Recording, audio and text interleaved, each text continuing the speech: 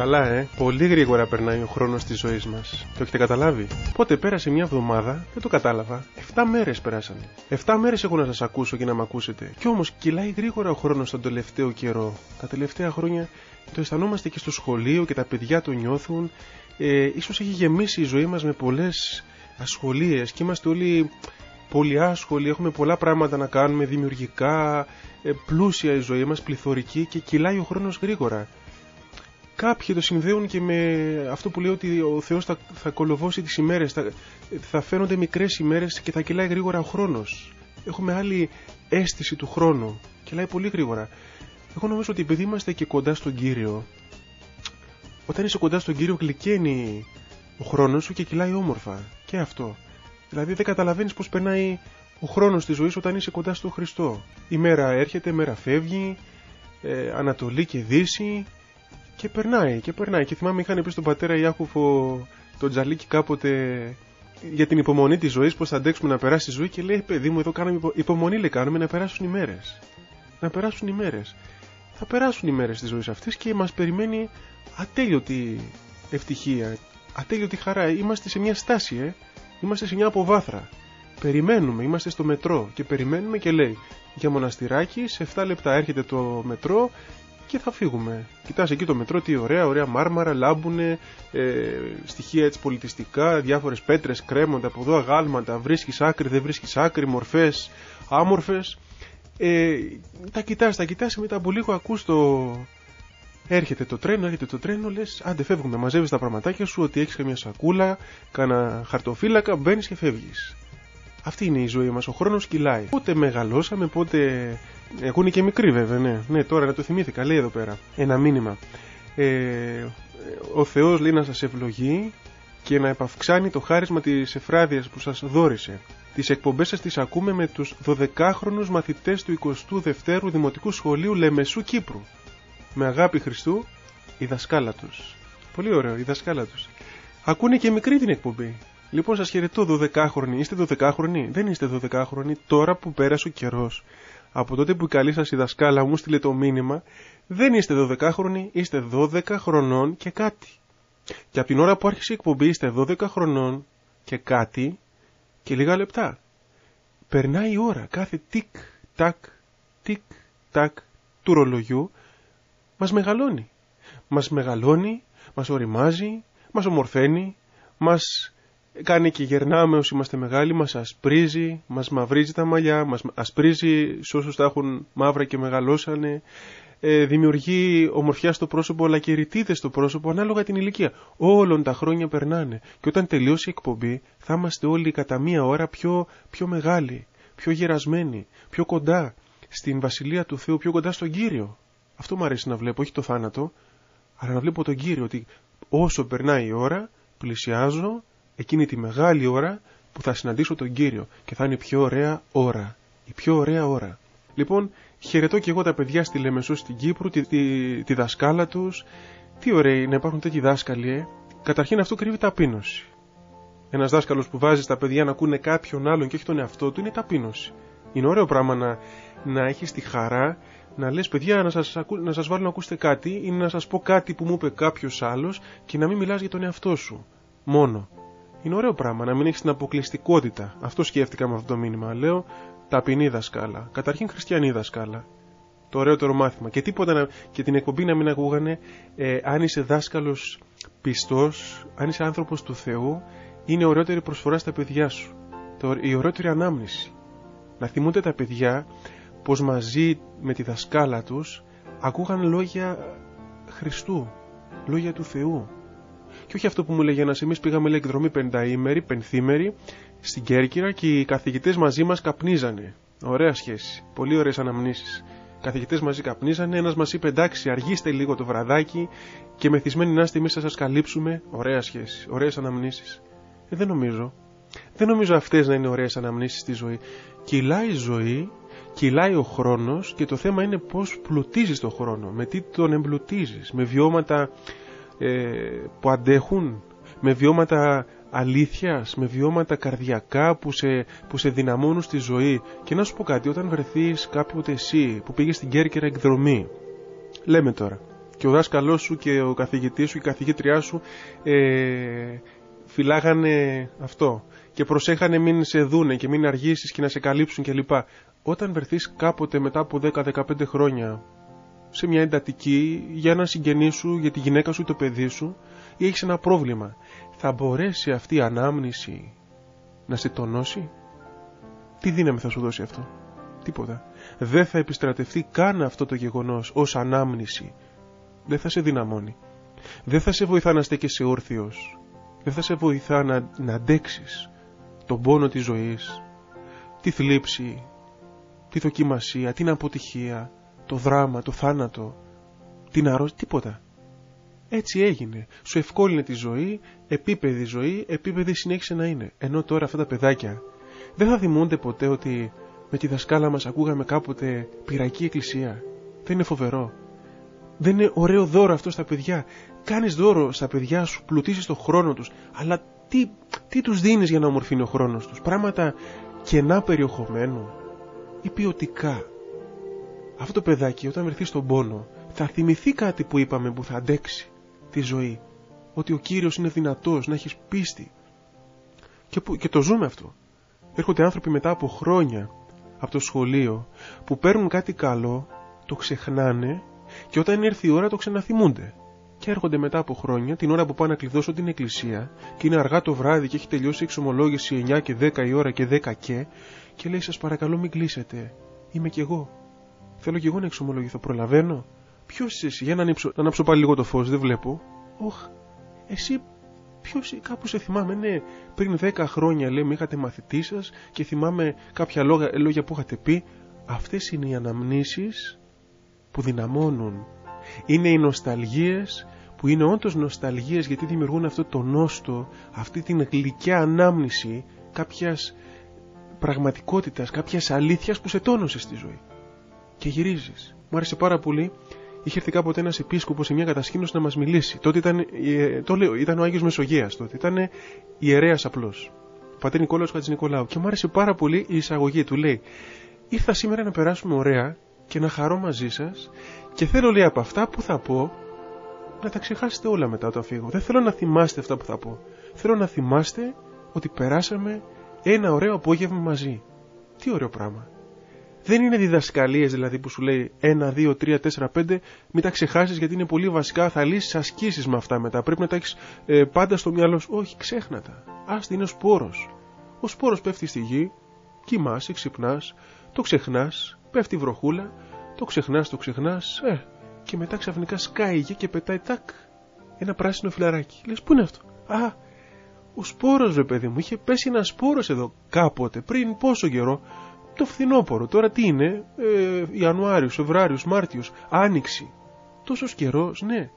Ο σπόρος δούλευε, δούλευε, αυτό είναι. Ρίχνε σπόρους ωραίους. Η ζωή σου να πλουτίζει. Η μέρα σου να ομορφαίνει. Όχι να περνάει απλώς η ώρα για να είσαι ένα βιολογικό που ζεις, μεγαλώνεις, πεθαίνεις, τρώ, κοιμάσαι, κάνεις παιδιά. Τι είναι αυτό, αυτό, το, αυτό υπάρχει παντού. Έτσι είναι και το γατάκι της κυρίας από πάνω που μένει στο σπίτι μου, που έχει ένα πολύ ωραίο γατάκι, αλλά είναι γατάκι. Δεν μπορεί να καταλάβει η πυραγική εκκλησία, δεν μπορεί να ακούσει αθέατα περάσματα, δεν έχει εξάρσεις, δεν έχει πόθους, δεν έχει όνειρα, δεν έχει χαρές που έχω εγώ, δεν, δεν συγκινείται, δεν έχει δυνατά βιώματα, δεν δημιουργεί πολιτισμό. Αυτό είναι, είσαι άνθρωπος. Είσαι άνθρωπος. Να ζεις λοιπόν ανθρώπινα, αλλά και θεανθρώπινα. Αλλά για να ζήσει ανθρώπινα πρέπει να ξεκινήσεις από αυτό το ανθρώπινο. Να είσαι σωστός άνθρωπος, φυσιολογικός, φιλότιμος, απλός, ταπεινός, διψασμένος για το σωστό. Μακάρι πεινώντες και διψώντες, μακάρι αυτοί που διψούν, μακάρι αυτοί που διψούν για το ωραίο. Και δεν βολεύονται και δεν επαναπαύονται. Και δεν έτσι αράζουν κάπου και λένε δεν πειράζει μην τα ψάχνεις όχι να τα ψάχνεις, ψάξε. Είναι ωραία να ψάχνεις. Όποιος ψάχνει βρίσκει έτσι λέει ο Κύριος. Όποιος χτυπά θα το ανοιχθεί. Ετείτε και δοθήσετε εμείς, ζητείτε και ευρύσετε, κρούετε, κρούετε, χτυπήστε την πόρτα και ανοιγήσετε, θα σας ανοίξω, δεν υπάρχει περίπτωση. Και αν κάνω πως δεν ανοίγω, υπάρχει λόγος. Ξέρω ότι είστε έτοιμοι να φύγετε και, και περιμένω λίγο να, να σας δω να επιμένετε και θα ανοίξω.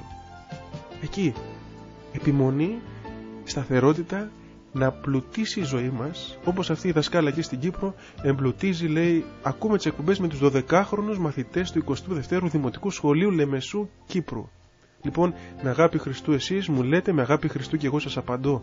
Η αγάπη του Κυρίου να σκεπάζει όλα τα παιδάκια, όλη την περιοχή σας, την πόλη σας, εσάς, τη ζωή σας και τα παιδιά αυτά μακάρι να γίνουν άγια παιδιά, όπως γίνανε οι μαθητές του Αγίου Νεκταρίου, όσοι γίνανε και είχαν δάσκαλο αυτόν, σίγουρα πήραν κάτι.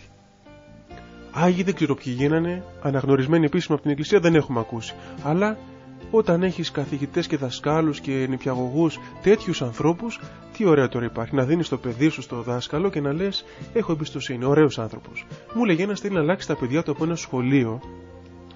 Τώρα συγγνώμη σας λέω διάφορα, αλλά επειδή βλέπω τα μηνύματα και έρχονται διάφορα στο μυαλό. Έτσι. Πιστεύω έχετε μια κατανόηση.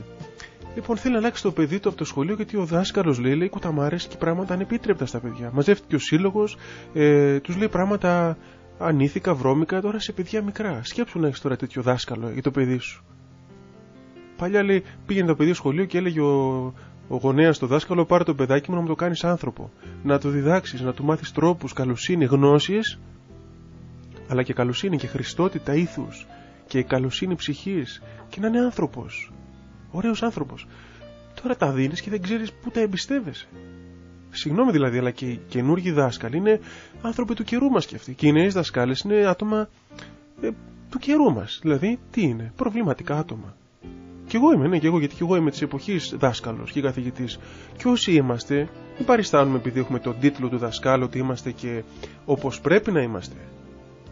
Έχουμε τα δικά μας, έχουμε τις σκοτούρες μας, έχουμε τα προσωπικά μας, τα ψυχολογικά μας, τα συζυγικά μας, τα, τις απογοητεύσεις μας, τα μηνύματά μας και ο καθένας ζει το δικό του. Ποιος μπορεί να πει ότι μπαίνει στην τάξη σήμερα και ζει για τα παιδιά; Και ζει για τα παιδιά και χαίρεται να δίνεις στα παιδιά την αλήθεια του Χριστού και, και θυσιάζεται για αυτά.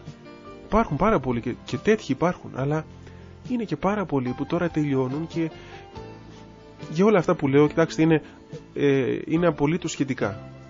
Είναι απόλυτα, αλλά σχετικά απόλυτα. Δηλαδή, ε, υπάρχουν και πάρα πολύ καλοί, άγιοι δάσκαλοι. Αυτό που έλεγε ο πατήρ Ιωστίνος Πόποβιτς ότι η αγιότητα πρέπει να μπει παντού. Άγιοι δάσκαλοι, άγιοι ε, χτίστες, άγιοι οικοδόμοι, άγιοι καθηγητές, άγιοι μανάβιδες, άγιοι ποδοσφαιριστές. Όλοι άγιοι, είναι άγιοι, πρέπει να γίνουμε παντού. Και υπάρχουν και άγιοι ε, δάσκαλοι πολύ ωραίοι άνθρωποι. Αυτούς τους ευλογούμε. Ο κύριος τους ε, πιστεύω τους ευλογεί με τα δυο του χέρια. Τους ευλογεί, τους σκεπάζει, τους χαριτώνει. Οι άλλοι όμως, και αυτούς βέβαια πρέπει να τους σκεπάσει και να τους χαριτώσει, να τους βάλει και στο στόμα καμιά φορά έτσι φρένο, φραγή και να βάλει και στα παιδάκια στο μυαλό τους έναν μετασχηματιστή να μετασχηματίζουν αλλιώς αυτά που ακούνε. Μακάρι ο Θεός τα παιδάκια να τα φωτίζει και άλλοτε να τα μπερδεύει, να μην καταλαβαίνουν καλά τι λένε οι δάσκαλοι, γιατί αυτά που λένε, αν τα καταλάβεις και καλά, χάνεις τον δρόμο σου μερικές φορές. Τι δάσκαλοι υπάρχουν και σήμερα; Και τι αγωνία εσείς που έχετε παιδιά, πού θα πάνε τα παιδιά σα σχολείο, ψάξτε. Η Πυραϊκή Εκκλησία έχει σχολείο. Πολλές Μητροπόλεις έχουν σχολεία ιδιωτικά δικά τους καλά και ιδιωτικά σχολεία που αξίζει τον κόπο και όχι απλώς έχουν πισίνες και γυμναστήρια και τέτοια. Το θέμα είναι, ήρθε μια φορά ένα παιδί και κάτι έλεγε στο διάλειμμα και μίλαγε άσχημα. Είχε έρθει από ένα άλλο σχολείο. Και πήγα να το πλησιάσω και του είπα μια συμβουλή και μου λέει, Περίεργο μου φαίνεται λοιπόν που μου μιλάτε και μου λέτε να μην βρίζω. Του λέω γιατί το λες αυτό, γιατί λέει στο άλλο σχολείο που ήμουνα; Σκασίλα τους λέει και αυτόν αν στο διάλειμμα τι κάναμε; Είτε βρίζαμε, είτε κάναμε πονηριές, είτε κάναμε κρυφά πράγματα και αυτοί νομίζουν ότι είμαστε αγγελούδια, λέει και εμείς κάναμε διάφορα, κανείς δεν νοιάστηκε ποτέ. Για να μας πει ας πούμε, παιδάκι μη θυμώνεις έτσι ας πούμε, μη βρίζεις. Να σε καλό παιδί. Ε, ναι, τι θα πεις στο μικρό παιδάκι; Στο μικρό παιδάκι έτσι μιλάς, να σε καλό παιδί ή σε ένα παιδί, ας πούμε, πρώτης ηλικίου, πώς θα, πώς θα μιλήσεις; Μου κάνει εντύπωση, λέει αυτό το ενδιαφέρον. Του λέω εδώ πέρα έτσι είμαστε. Όταν ένα σχολείο, ας πούμε, υπάρχουν καθηγητές που αγαπούν τον κύριο, που εκκλησιάζονται, που προσεύχονται, που εξομολογούνται, ε, είναι αλλιώς και το περιβάλλον. Έτσι δεν είναι. Δηλαδή, καταλαβαίνω την αγωνία των γονέων. Έρχονται οι γονείς και μου λένε ότι δεν έχουμε λεφτά, αλλά κάνουμε ε, πολύ σκληρές οικονομίες ε, για να πάμε το παιδί μας σε ένα σχολείο ιδιωτικό που αξίζει τον κόπο που πρέπει, τι να κάνεις στον παιδί, τα αφήνεις, ας πούμε, ελεύθερο παντού. Ε, τι να κάνουμε, όσοι δεν έχουν λεφτά θα κάνουν προσευχή. Ναι, και θα στείλει ο Θεός αγγέλους και θα σκεπάζουν το παιδάκι τους και θα είναι άγιο. Ναι, μπορεί να έχεις ένα παιδί μέσα σε ένα σχολείο που γίνεται ε, πανικός, που το κλίμα είναι τελείως. Ε, καπνίζουν, βρίζουν, τσακώνονται, ε, πονηριές, βρισχές ε, και ναρκωτικά ακόμα και το παιδάκι σου, ναι. Έχω περιστατικά τέτοια που οι γονείς προσεύχονται και τα παιδιά τα σκεπάζει ο Θεός και περνάνε ε, αυρόχη ποσή που λέει. Όπως περάσαν οι Ισραηλίτες στην Ερυθρά θάλασσα και δεν βραχήκανε καθόλου, έτσι περνάνε, χαμπάρι δεν παίρνουν. Αθώα παιδιά έρχονται εξομολογούνται ούτε που ξέρουν αμαρτίες να σου πούνε. Ούτε που ξέρουν ποιες αμαρτίες υπάρχουν γιατί και είναι από σχολεία που λογικά θα περίμενες να, κάνουν, να έχουν πολύ παρασυρθεί. Ωραίο πράγμα, ας πούμε, να έχεις αυτή την. Ε, το παιδί σου ε, όταν πάει σχολείο, σκέπαζέ το, σταύρωνε το και μετά κάνει και καμιά προσευχούλα κρυφά.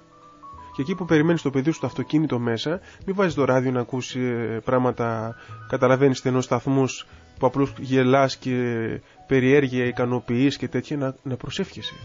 Να προσεύχεσαι. Και αυτά που λέμε τώρα προσευχή δεν είναι για το παιδί σου. Προσευχή είναι. Πες ένα κύριε λέει σου. Κύριε λέει το παιδί μου. Πού είναι το παιδί σου τώρα; Τώρα που μιλάμε, πού είναι το παιδί σου; Ε, κάπου είναι. Πού είναι, στη δουλειά, στο χωριό του, στις σπουδές του, στο εξωτερικό, στο στρατό, εδώ, εκεί, στο ναυτικό, οπουδήποτε. Είσαι εσύ δίπλα του, όχι, κάνε προσευχή. Εσύ δεν είσαι πανταχού παρόν, στείλε λοιπόν εσύ τον πανταχού παρόντα κύριο στο παιδί σου να το σκεπάζει. Κάνε την προσευχή σου για το παιδί σου. Κι άστο. Δεν το παρατάς στο κενό, το παρατάς στα πόδια του Χριστού. Και αυτό δεν είναι παράτημα, είναι πραγματικά εμπιστοσύνη και καλύτερη εξασφάλιση και καλύτερη επένδυση και καλύτερη κατάθεση. Κύριε, σου δίνω το παιδί μου, πάρ το παιδί μου. Πάρ το παιδάκι μου και σκέπασε το εσύ. Μεγάλη αγωνία να είσαι σήμερα αγωνέα είναι. Δηλαδή, εγώ υποκλίνομαι. Υποκλίνομαι, σέβομαι τους γονείς τους σημερινούς που είστε ήρωες. Δηλαδή, δεν, δεν το κρύβω, δεν, δεν σας κολακεύω. Είστε, ας πούμε, είστε ήρωες. Και μόνο τα παιδιά σας να μπορέσετε να μεγαλώσετε, είστε άγιοι. Είναι αγιότητα αυτός στην εποχή μας να μεγαλώσει σωστά παιδιά. Να είσαι σωστός γονέας, ας πούμε. Ναι, σωστή αγωγή, σωστά παραμύθια στο παιδί, όχι βρικόλακες και δράκουλες και πράγματα κακίας κλπ. Ποιότητα, να μάθεις το παιδάκι σου να συγκινείται, να είναι ευαίσθητο, να είναι σκληρό εκεί που πρέπει και ανθεκτικό στη ζωή και στα προβλήματα, να μην είναι μαλθακό, αλλά να μην είναι και ανέστητο. Να ακούει και κάτι και να συγκινείται το παιδάκι, να ακούει ένα παραμύθι και να γλυκαίνει η ψυχή του, να μην λέει Α, δεν θέλω τέτοια, θέλω σκοτωμούς και αίματα, αυτά δεν μου αρέσουν. Αυτό είναι θέμα καλλιέργειας. Η τηλεόραση δεν καλλιεργεί ευαισθησίες, η τηλεόραση καλλιεργεί ε, κακές ευαισθησίες. Συναρπάζει το παιδί με τα αίματα, με σκοτωμούς, με κακούς ανθρώπους. Παιχνίδια που παίζει και νικητής είναι αυτός που θα σκοτώσει πιο πολλούς γέρους. Είναι ένα παιχνίδι λέει, που τρέχει ένα αυτοκίνητο και στο δρόμο παρουσιάζονται κάτι παππούδες και γιαγιάδες. Και όσο πιο πολλούς σκοτώσεις, παίρνεις πόντους. Αυτή η γιαγιά λέει που πάει έτσι παίρνει 500 πόντους. Ο άλλος ο παππούς 200 πόντους. Και σκοτώνει γιαγιάδες. Αυτό τώρα τι είναι; Λέει είναι παιχνίδι. Λέει, μετά, μετά βλέπετε, ε, παιχνίδι είναι, αλλά η ζωή έτσι ξεκινάει.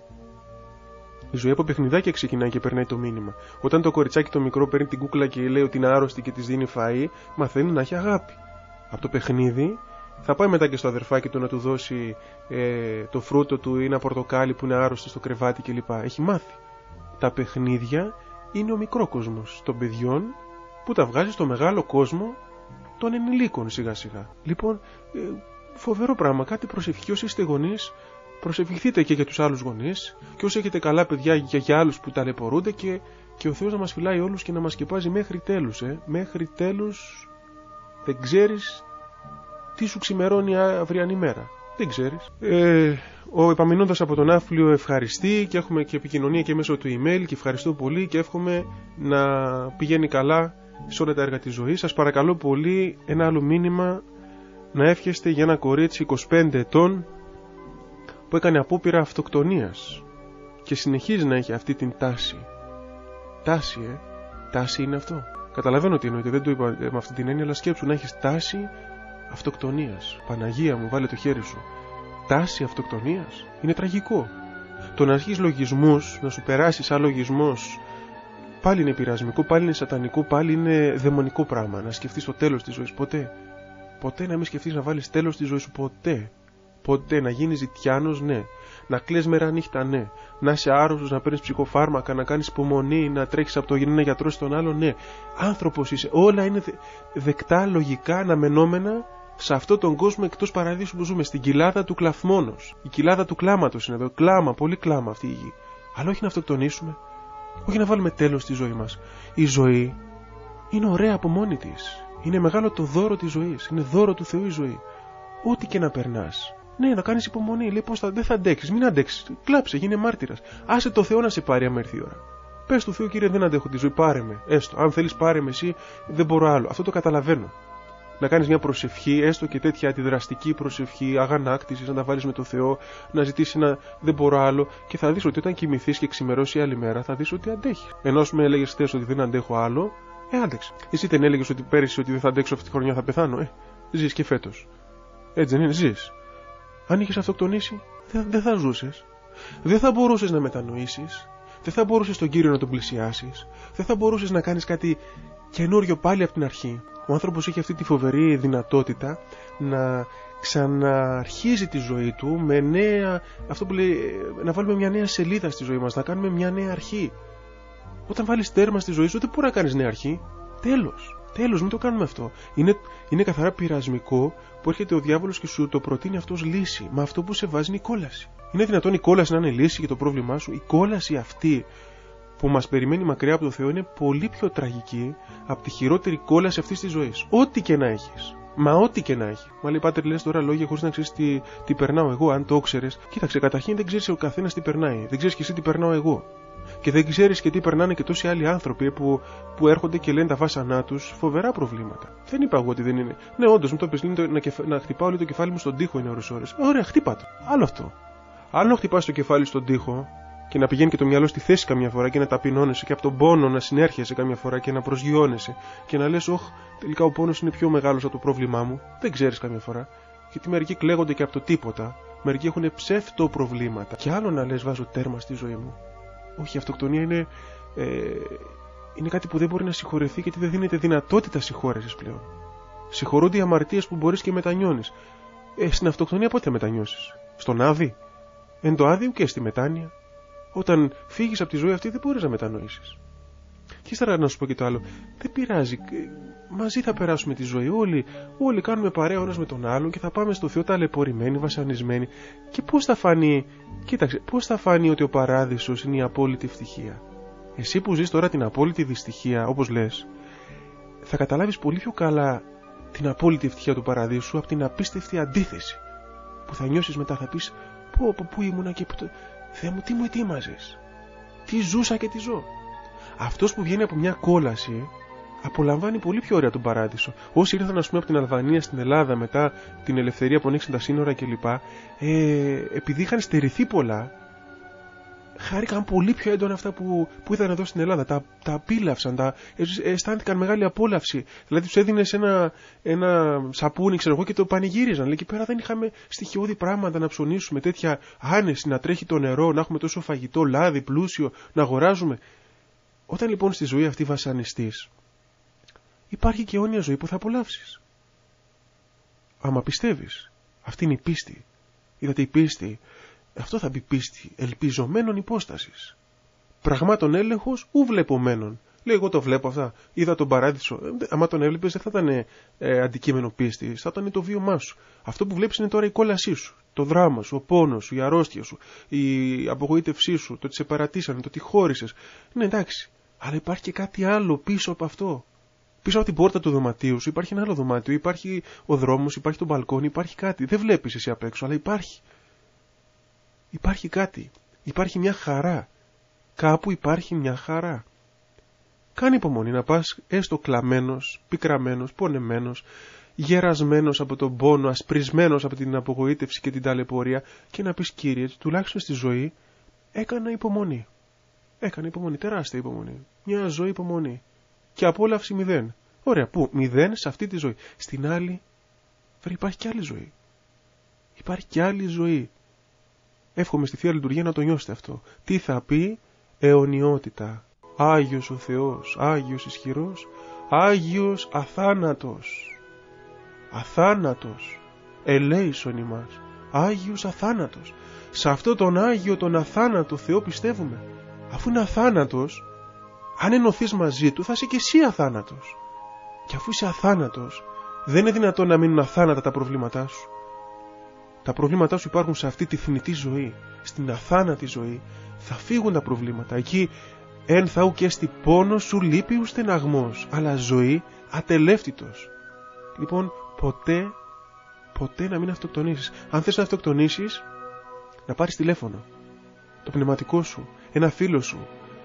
Πάρε με και εμένα, αλλά μην αυτοκτονήσεις. Μην αυτοκτονήσεις. Να πάρεις ένα τηλέφωνο να το συζητήσεις. Το λέω γιατί είναι σοβαρό πράγμα, πολύ είναι κάτι που δεν έχει επιστροφή. Όσοι αυτοκτόνησαν δεν μπορούν να επιστρέψουν. Έγινε αυτό το. Δεν είναι μια ζημιά που διορθώνεται. Όλες οι αμαρτίες οι άλλες διορθώνονται. Ό,τι και να κάνεις διορθώνεται. Μετανιώνεις, αλλά όταν αυτοκτονείς δεν διορθώνεται. Είναι κάτι που σε στιγματίζει για πάντα. Λοιπόν, εύχομαι για αυτό το κορίτσι. Εύχομαι και εσείς να εύχεστε για όλα αυτά τα πλάσματα που τώρα θέλουν να αυτοκτονήσουν. Φοβερό. Πάλι από την Κύπρο, άλλο μήνυμα. Από Κύπρο λέει ευχαριστίες και πολύ ευγνωμοσύνη στον πιμενάρχη τους, τον Άγιο Λεμεσού, τον κύριο Αθανάσιο, που έχει την ευθύνη του σταθμού στην πόλη αυτή και έτσι γίνεται κατορθωτή η σύνθεση με την πυραϊκή εκκλησία. Να εύχεστε, λέει, ο λόγος του Θεού να πέφτει καθημερινά σε ψυχές με έφορη γη και να δίνει πλούσιους καρπούς. Έτσι μπράβο, να έχετε ευγνωμοσύνη στον πιμενάρχη σας. Και η Πυριακή Εκκλησία έχει ευγνωμοσύνη στον πιμενάρχη της, τον κύριο Σεραφείμ, και κάθε Μητρόπολη που αναμεταδίδει το δικό της τοπικό σταθμό ή την Πυριακή Εκκλησία ευγνωμονεί τον πιμενάρχη, τους ανθρώπους αυτούς που φροντίζουν ανίστακτα με αγάπη. Και είναι ωραίο πράγμα να, να νιώθεις αυτό το ευχαριστώ, να το λες το ευχαριστώ, να κάνεις προσευχή. Και αυτοί οι άνθρωποι καμιά φορά θεωρείται ότι είναι εντάξει, φτασμένοι, είναι ψηλά, δεν έχει πιο ψηλά να πάνε. Εντάξει, εγώ για σένα θα κάνω λίγο προσευχή. Ναι, να κάνεις προσευχή, όλοι έχουν ανάγκη. Και ο πιμενάρχης έχει ανάγκη να τον χαριτώνει ο Κύριος και ο Άγιος αγιαστεί το έτη. Και Άγιος να είναι να γίνει κι άλλο Άγιος. Και ταπεινός να είναι να γίνει κι άλλο ταπεινός. Και σοφός και έξυπνος να είναι και να έχει χαρίσματα να τον πλουτίσει ο Κύριος κι άλλο. Αυτή η ευγνωμοσύνη είναι πολύ ωραία. Η ευγνωμοσύνη που ζούμε στον εκκλησιαστικό χώρο. Ο ένας ευγνωμονεί τον άλλο και εγώ σας ευχαριστώ που γίνατε φίλοι μου. Σας ευχαριστώ γιατί έχω αποκτήσει φίλους από αυτή την εκπομπή που δεν τους είχα. Έχει πλουτίσει και η δική μου ζωή με πρόσωπα που δεν τα ήξερα. Κάποτε ήρθε κάποιος με τον αδερφό του να με συναντήσει από την εκπομπή και μέσω της εκπομπής κάποια CD, κάτι ε, που συζητάγαμε για σταθμούς κλπ. Τους το είπα στο τέλος, λέω: Για κοιτάξτε, μέχρι χτες δεν σας ήξερα. Και τώρα σας ξέρω και είναι σαν να είμαστε χρόνια φίλοι και νιώθουμε αυτή την αγάπη και ευγνωμοσύνη από την εκπομπή δηλαδή αν πάμε στην ουσία των πραγμάτων από τον Χριστό. Ο Κύριος μας ενώνει. Αυτός είναι ο συνδετικός κρίκος. Τι ωραίο πράγμα αυτό. Η, αυτή η αλληλοπεριχώρηση, αυτή η αγάπη, αυτή η αμοιβαία κατανόηση και αυτή η επικοινωνία. Και όντως να πέφτει ο λόγος του Θεού λέει, σε ψυχές με έφορη γη και να δίνει πλούσιους καρπούς. Εύχομαι πραγματικά και εσείς να εύχεστε αυτοί που ακούνε. Ε, που, ποιος μου λέγει, πήγαινε λέει για προπόνηση ένας και έχασε την προπόνηση γιατί πήγαινε με το αυτοκίνητο. Και έκανε, ναι μου το είπε ο Παμινόνδας, το θυμήθηκα. Και έκανε λέει, και έκασε μέσα στο αυτοκίνητο και άκουσε όλη την εκπομπή. Αυτό θα πει έφορη γη όταν μπορείς και βάζεις κάτι πάνω από κάτι άλλο θα πει ότι αυτό το κάτι του δίνεις μεγάλη αξία και αν αξίζει καλά κάνεις και του δίνεις αξία. Και αυτό αξίζει όντως. Όχι γιατί το λέμε εμείς επειδή είναι του Κυρίου το να βάζεις τα λόγια του Χριστού πάνω από την προπόνηση θα πει ότι η ψυχή σου είναι πραγματικά πολύ έφορη έφορη γη, διψά θυσιάζεις την προπόνηση θυσιάζεις ας πούμε αυτό που που τους πολλούς τους κάνει και τρελαίνονται, ή λες εντάξει, δεν θα τρελαθούμε κιόλας. Και έχω δει τέτοια άτομα που θυσιάζουν κάτι για κάτι άλλο και είναι αυτό που λέει έρο, έρο νικάτε. Όταν είσαι ερωτευμένος με κάτι, αν δεις κάτι ανώτερο, αφήνεις αυτό το κάτι γιατί λες αξίζει τον κόπο να το αφήσω για λίγο ή για πολύ ή για πάντα. Γιατί αυτό που βρήκα είναι το κάτι άλλο. Είναι το κάτι άλλο που δεν αξίζει να το θυσιάσω για να πάω να παίξω λίγη ώρα μπάλα. Μπάλα θα παίξω και μετά μπάλα θα παίξω και άλλη μέρα. Άσε που πιστεύω ότι όταν είσαι κοντά στο Θεό, ακόμα και τα πόδια σου έχουν φτερά και παίζεις καλύτερα και μπάλα. Και το λέω σε μερικούς που έτσι κάνουν πολύ πνευματική ζωή, αλλά παίζουν και σε πολλούς αγώνες αθλητικούς και ποδόσφαιρο και λέω πώς αγκολεύανε. Λέει μετά, μετά την προσευχή είναι αλλιώς το παιχνίδι. Μετά την πνευματική ζωή που κάνω, μετά τη θεία κοινωνία, μετά την αγάπη στο Χριστό, είναι αλλιώς όλα όσα κάνεις. Είναι αλλιώς όσα, όσα κάνεις είναι ε, χρωματίζονται αλλιώς. Και το ποδόσφαιρο που θα παίξεις θα βάλεις πιο πολλά γκολ. Ναι, αλήθεια σου λέω. Ε, το έλεγε και ο πατήρ Παΐσιος ότι άμα διαβάσεις και κάνεις προσευχή, ε, θα διαβάζει και καλύτερα τα μαθήματα και θα πετύχεις λέει εξετάσεις και με λιγότερο διάβασμα. Σε συμφέρει, λέει. Θα πας εκκλησία και θα διαβάζεις και λιγότερο μετά, μια και δεν σ' αρέσει πολύ να κουράζεσαι, γιατί θα σε φωτίσει ο Θεός. Αλλάζει μετά, χρωματίζεται και το ποδόσφαιρο αλλιώς και το μπάσκετ αλλιώς και, και το διάβασμα αλλιώς και ό,τι κάνεις έχει τη, ε, τη, τη σφραγίδα, το χρώμα, την ευλογία του Χριστού. Αυτό. Αυτό εύχεται και αυτή, αυτός ο ακροτής από την Κύπρο να έχουμε ψυχές έφορες, να διψάμε. Μακάρι αυτοί που πεινούν και διψούν να ακούνε αυτά τα, τα λόγια. Ε, ο Αντώνιος, η Παρασκευή και τα τέκνα τους. Ε, ε, λέει ευχές να έχουμε την ευλογία του Αγίου Πνεύματος. Και εγώ εύχομαι να ε, έχετε την ευλογία του Αγίου Πνεύματος στη ζωή σας και εύχομαι και εσείς να εύχεστε. Πώς αποκτούμε τα δώρα που θέλουμε με την ευχή, με την προσευχή. Πώς αποκτούμε την προσευχή με την προσευχή. Προσεύχομαι να θέλω να προσεύχομαι. Εύχομαι να θέλω να εύχομαι. Δηλαδή τρώγοντας έρχεται η όρεξη και ζητάμε και παρακαλάμε και ξεκινώντας θα το πετύχουμε. Είναι αυτό που λέει ο Κύριος ήταν ο άλλος άρρωστος και του λέει ο κύριος πήγαινε να δείξει τον εαυτό σου στους ιερείς ότι έγινες καλά.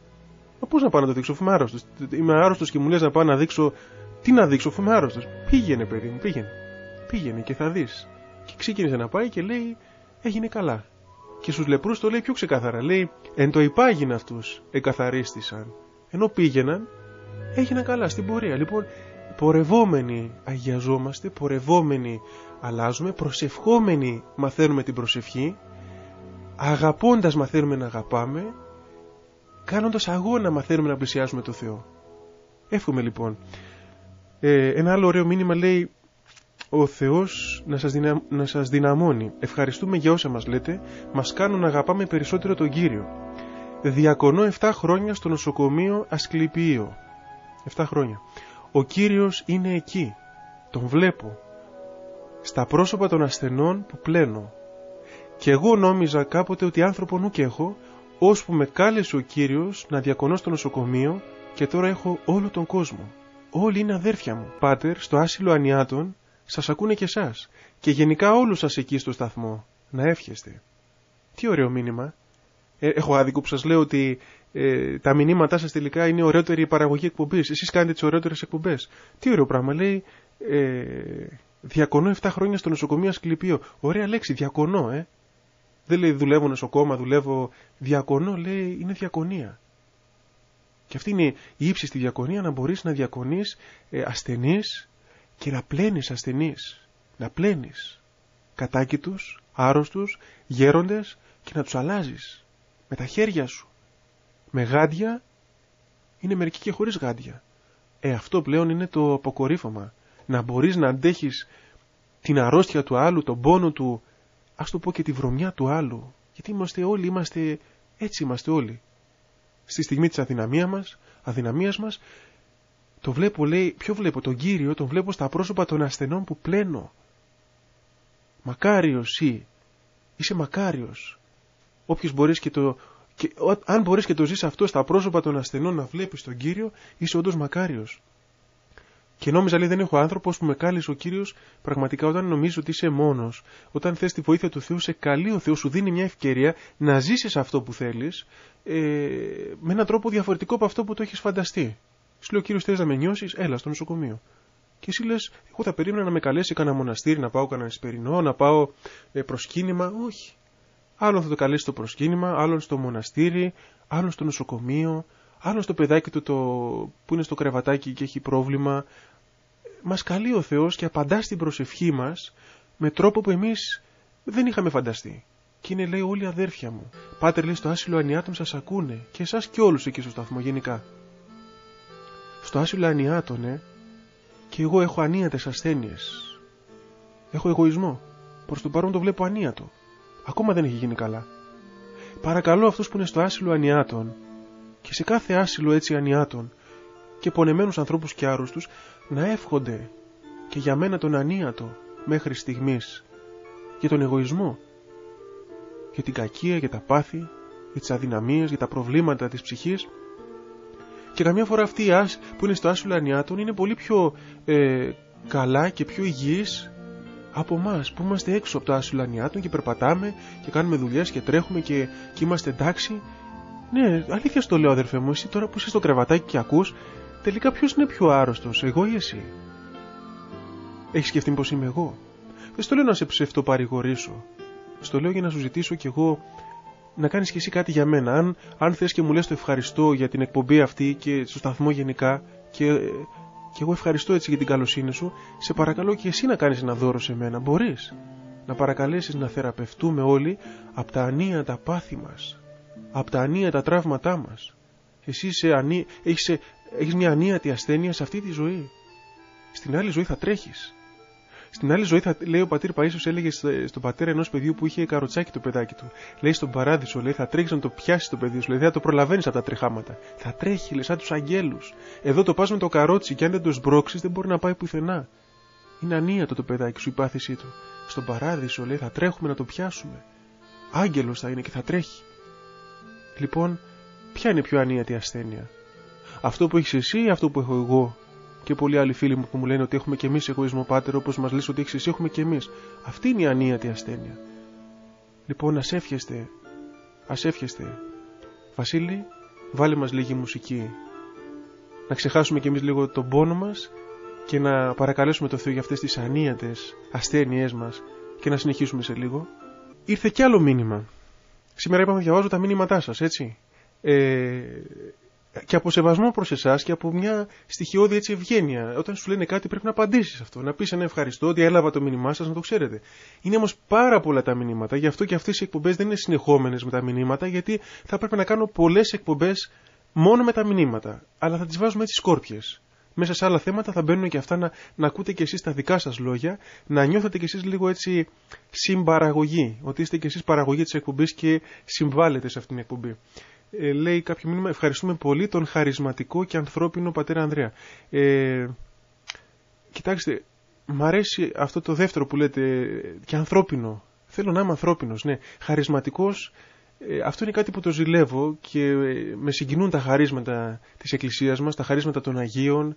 Ε, με συγκινεί πιο πολύ αυτό που λέγει ο πατήρ Ιάκωβος στην Εύβοια, όταν του λέγανε διάφορα καλά λόγια και λέει εμένα, εγώ παιδιά μου να σας πω, λέει με συγχωρείτε, λέγε όλο με συγχωρείτε.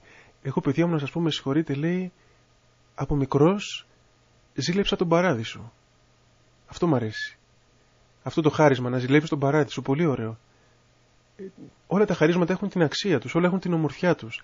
Αλλά αν η καρδιά σου ζηλεύει τον παράδεισο, αν θες αυτό να είναι το χάρισμά σου, να έχεις τον πόθο του Θεού, να έχεις να λες Κύριε πότε, πότε να φύγω, Πότε να έρθω κοντά σου, πότε να έρθω στη βασιλεία σου. Αυτή η ζωή είναι αυτό πάλι που έλεγε ο Άγιος Μεσογείας σε μια συνέντευξη που διάβασα κάποτε. Έλεγε στη ζωή αυτή, του είπαν τι άλλο επιθυμείτε σε αυτόν τον κόσμο, ποια είναι τα όνειρά σας, τα σχέδιά σας και λέει αυτό που τώρα μένει λέει να επιθυμώ είναι ο θάνατος λέει πλέον και να εξοφλήσω το βιολογικό μου χρέος σε αυτόν τον κόσμο.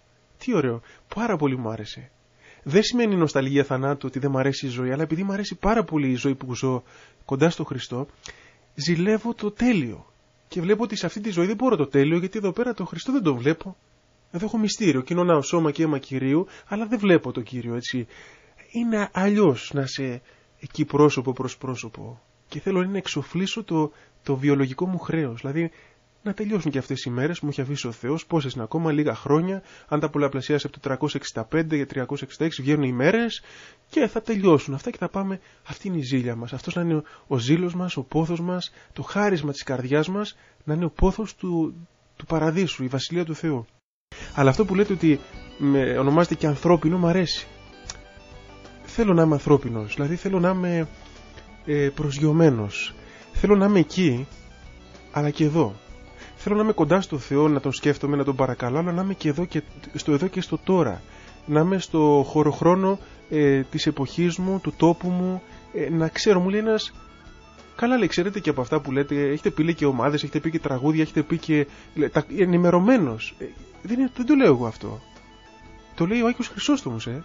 Στους ιερείς, όταν διάβασα πριν χειροτονηθώ του λόγους του για την ιεροσύνη, έλεγε ότι ο ιερέας, ενώ θα πρέπει να είναι λίγο πιο καθαρός και από τις ακτίνες του ήλιου, εδώ εντάξει. Καταλαβαίνετε τώρα ότι είναι πολύ δύσκολο αυτό. Ούτε καν τολμώ να καθρεφτιστώ σε αυτή τη φράση. Ε, ταυτόχρονα λέει πρέπει να είναι εκτός από πολύ καθαρός, πρέπει να είναι πολύ ενήμερος σε όλα τα πράγματα της ζωής. Γιατί σε όλα θα μπει. Με όλα θα ασχοληθεί. Δεν μπορεί να του μιλάνε, λέει άλλοι, και να μην καταλαβαίνει τι του λένε. Δεν μπορεί να είναι εκτός τόπου και χρόνου. Δεν μπορεί να είναι, ας πούμε, να καταλαβαίνει τον άλλον, να μπαίνει στην ψυχή του, να μπαίνει στην καρδιά του, να τον αγγίζει το πρόβλημά του και ταυτόχρονα να μπορεί να τον βγάζει τον άνθρωπο από την πτωτικότητα, από τη γήινη ατμόσφαιρα, από τη λάσπη, να μπορείς και εσύ να μπαίνεις στη λάσπη όχι για να λασπωθείς, αλλά για να δώσεις το χέρι σου στον άλλον. Πώς θα το δώσεις αν δεν μπεις στη λάσπη; Δεν γίνεται. Πρέπει να λυρωθείς. Αλλά όχι να, να λυρωθεί η καρδιά σου. Όχι. Αυτό δεν το ζητάει ο Θεός. Δεν είπε ποτέ ο Θεός δηλαδή να κάνουμε αμαρτίες για να καταλαβαίνουμε τους αμαρτωλούς, αλλά είπε ότι να τη σπάσει γέγονα τα πάντα.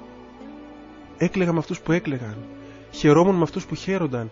Ένιωθα τις ασθενή και ουκ ασθενό, τις... ποιος υποφέρει και δεν, δεν καίγομαι κι εγώ μέσα μου, λέει ο Απόστολος Παύλος. Υποφέρω μαζί σας. Μα για να υποφέρεις πρέπει να ξέρεις τι νιώθει ο άλλος. Και για να ξέρεις πρέπει να μπορείς να μπαίνεις μέσα στην καρδιά του, στο πετσί του, στη σκέψη του. Αυτό είναι το ανθρώπινο, μ' αρέσει. Μ' αρέσει να είσαι ανθρώπινος και θεϊκός, να είσαι θεϊκός και ανθρώπινος. Να έχεις να προσφέρεις ε, κάτι καινούργιο σε αυτόν τον κόσμο, κάτι θεϊκό, αλλά ταυτόχρονα να, να καταλαβαίνουν οι άλλοι ότι μπορούν να σε αγγίξουν, να σε πλησιάσουν. Μου έκανε εντύπωση ε, όσες φορές βρέθηκα στον πατέρα Ιάκωβο στην Εύβοια, σε αυτόν τον Άγιο άνθρωπο, πώς πήγαιναν κάτι γιαγιούλες, κάτι παππούδες εκεί από τα γύρω χωριά και τον χτυπάγανε στην πλάτη. Και τον ακουμπάγανε σαν να είναι ένας παππούλης φίλος τους, ένα γεροντάκι δικό τους, με απλότητα. Ένας Άγιος άνθρωπος ήταν αυτός. Και μου άρεσε αυτή, αυτό που λέει ότι είναι ανθρώπινος. Ήταν ανθρώπινος, θεϊκός και ανθρώπινος. Ε, ανθρώπινος μου αρέσει να είμαι και ίσως να είμαι λίγο ανθρώπινος, το, το επιδιώκω. Μακάρι να είμαι και έτσι όπως ήταν αυτοί οι άνθρωποι, σιγά σιγά να πλησιάσουμε και τη θεϊκότητα. Να πλησιάσουμε και τα χαρίσματα του Αγίου Πνεύματος, να πλησιάσουμε και τη χάρη του Θεού. Να είμαστε ανθρώπινοι αλλά να έχουμε να κομίσουμε, να, να φέρουμε κάτι διαφορετικό στους ανθρώπους. Γιατί αν, αν συσχηματιζόμαστε με τους ανθρώπους και κάνουμε παρέα και τα λέμε και είμαστε μαζί με τους ανθρώπους αλλά δεν τους προσφέρουμε κάτι καινούριο που δεν τους δίνει η τηλεόραση, το γήπεδο, η διασκέδαση, ο χώρος, ε, ο κινηματογράφος και όλες αυτές οι κοσμικές ας πούμε, ε, εκτονώσεις, τότε ποια είναι η διαφορά; Ποια είναι η διαφορά; Τι λέει, τη σπάση γέγονα τα πάντα ή πώς την ασώσω έγινα πολύ ανθρώπινος, πήγα πολύ κοντά σε όλους, έγινα ένα με όλους και να τους οδηγήσω στον Κύριο όμως. Για να τους οδηγήσω όμως κάπου πρέπει να έχεις πάει και εσύ εκεί. Αυτό είναι το θέμα. Όχι να κατεβαίνεις μόνο στο επίπεδο του άλλου, πρέπει να κατεβαίνεις για να τον ανεβάσεις. Να του δείξεις το φως, να του δείξεις το Χριστό.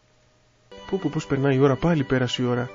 Ε, ναι, έχω και άλλα πολλά μηνύματα. Θα, δεν πειράζει, λίγα-λίγα θα τα λέμε. Λίγα-λίγα θα τα λέμε. Τώρα εσείς γράφετε και άλλα μηνύματα βέβαια, μου στέλνετε στα, στο email και μετά έχω και άλλο υλικό, δεν ξέρω πόσο καιρό θα μιλάω, μάλλον ε, δεν ξέρω αν, θα, αν αυτή η εκπομπή σταματήσει θα έχουν μείνει πάρα πολλά πίσω και δεν νομίζω να προλάβω να πω όλα αυτά.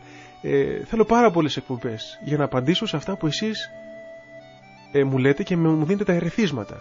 Εσείς μου δίνετε ερεθίσματα να σκεφτώ, να προβληματιστώ, να προσευχηθώ και να ταπεινωθώ και να βοηθηθώ πάρα πολύ. Σας ευχαριστώ και σας ευχαριστώ για αυτά που θα γράψετε και τώρα στα, στο email της εκπομπής στην ηλεκτρονική διεύθυνση αθέατα.περάσματα παπάκι yahoo.gr και πάρτε αν θέλετε και τηλέφωνο στο σταθμό ε, η Φίβη με χαρά θα σας ακούσει και θα σημειώσει το μήνυμά σας και ό,τι πείτε στο 41 602 και 41 640. Να ευχαριστήσω για άλλη μια φορά τον μουσικό ο οποίος φροντίζει για τη μουσική επένδυση και ηχητική επεξεργασία αυτής της εκπομπής, τον Βασίλη Χατζης Νικολάου. Και όπως είπαμε στην άλλη εκπομπή, να κάνετε πιο πολύ προσευχή και να μην ξεχνάτε ποτέ τον Χριστό. Αυτός να σας γίνει η διαρκή σκέψη της καρδιάς σας και της ζωής σας. Να ακούτε το όνομά Του και να σκυρτάει η καρδιά μας. Ο Κύριος να μας χαριτώνει και να μας σκεπάζει, αγαπητοί μου φίλοι, και τη βδομάδα αυτή που έρχεται και εύχομαι να ανακαινίζετε ως αητού η νεότη σας. Παρόλο που πέρασε μια ώρα και λέγαμε ότι θα γεράσουμε άλλη μια ώρα θέλω να πιστεύω ότι αυτή την ώρα η καρδιά μας έγινε λίγο πιο νεανική λίγο πιο κοντά στον Κύριο πήγε λίγο πιο πολύ ανανεώθηκε και γλυκάθηκε. Καλή δύναμη και καλή αντάμωση. Χαιρετώ όλους τους νέους και γέροντες της εκπομπής αυτής που δεν υπάρχουν γέροντες γιατί όλοι κοντά στο Χριστό είμαστε νέοι. Καλή δύναμη